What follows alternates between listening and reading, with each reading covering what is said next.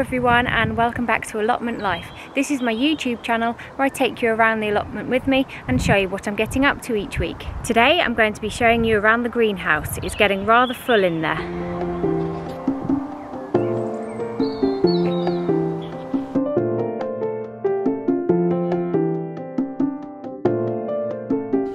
These are all of the tomatoes that I've got growing at the moment. We've got eight now probably about three different varieties. The main variety we're going for is Montello tomato, which we haven't grown before, but I have got a couple of the more obscure ones just for fun. Like this is called chocolate cherry tomato. So it will be really interesting to see how that turns out. I've got four lettuce growing. They're doing really well in their individual pots. Next on the seedling tray are the cucumber. They're growing really well. And I've got one melon growing. I did have more but they've been eaten so just down to one at the moment.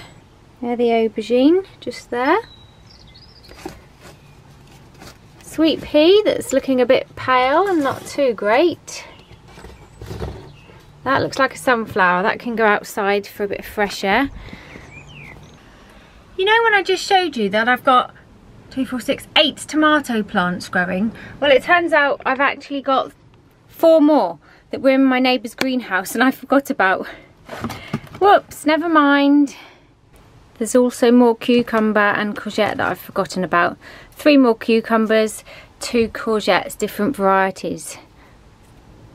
We moved them into his greenhouse the other night when there was a frost warning, but they're coming back into my greenhouse now that that's passed.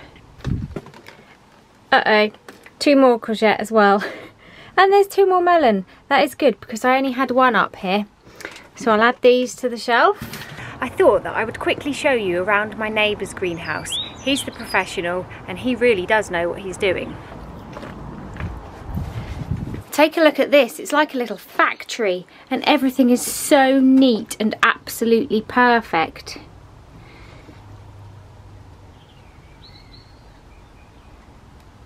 Cauliflower, broccoli, some flowers, that's a sweet potato, they are possibly leeks or onions. What else have we got? Giant tomatoes in there. Brussels, cabbage and dahlias. It's just the way that he gets them all so neatly organised and presented. Still got to make space for all of these in the greenhouse. Not too sure how. Oh, and also the sunflowers. It's getting rather packed in here. I've sowed about 10 different varieties of pumpkin. I do enjoy growing pumpkin and they're all shooting up really well. So I've brought them from home, added them into the greenhouse today. In this tray I've got cauliflower, broccoli, kohlrabi and an individual lettuce growing in a pot. I don't know quite how but I have managed to get everything into the greenhouse now and potted on. Top shelf here, absolutely full. Second shelf, full.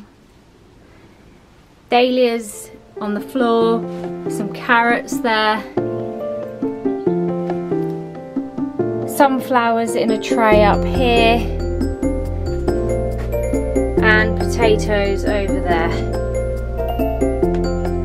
Thank you so much for watching. I hope you enjoyed having a look around the greenhouse and I'll see you on the next vlog.